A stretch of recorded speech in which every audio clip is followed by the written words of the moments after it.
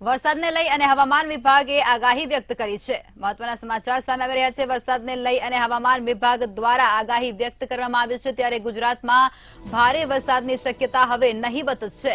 ત્યારે system active ન હોવાને કારણે હવે વરસાદી સિસ્ટમ એક્ટિવ નથી, જેને કારણે હવે વરસાદની સંભાવના નહીવત છે. ત્યારે વીજળીના કડાકા સાથે વરસાદની શક્યતા પણ સેવાઈ રહી છે. હવામાન વિભાગે આગાહી વ્યક્ત કરી છે દક્ષિણ ગુજરાત ઉત્તર ગુજરાત અને સૌરાષ્ટ્રમાં વરસાદની સંભાવના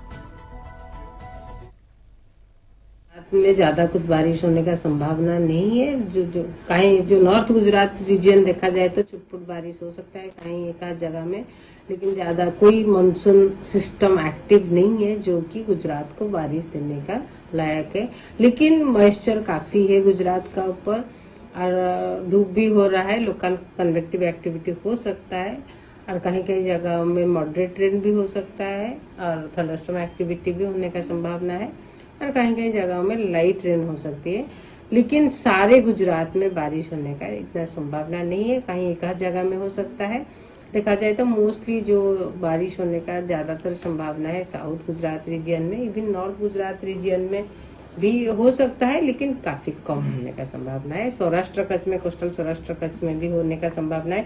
कच्छ में मोस्टली ड्राई रहने का संभावना है और जो क्लाउडी स्काई रहने का संभावना है। और कल से देखा जाए तो और ड्रास्टिक रिडक्शन होगा। आगे आगे, जैसे day five days day five से मोस्टली गुजरात स्ट्रेट ड्राई हो सकता है। यानी आज जो है